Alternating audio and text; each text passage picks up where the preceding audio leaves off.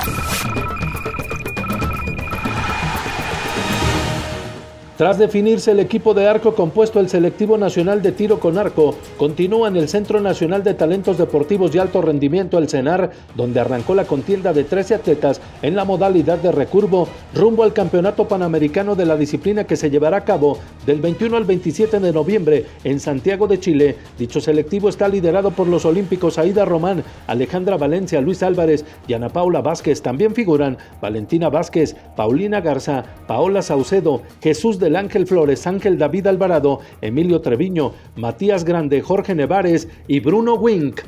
RTQ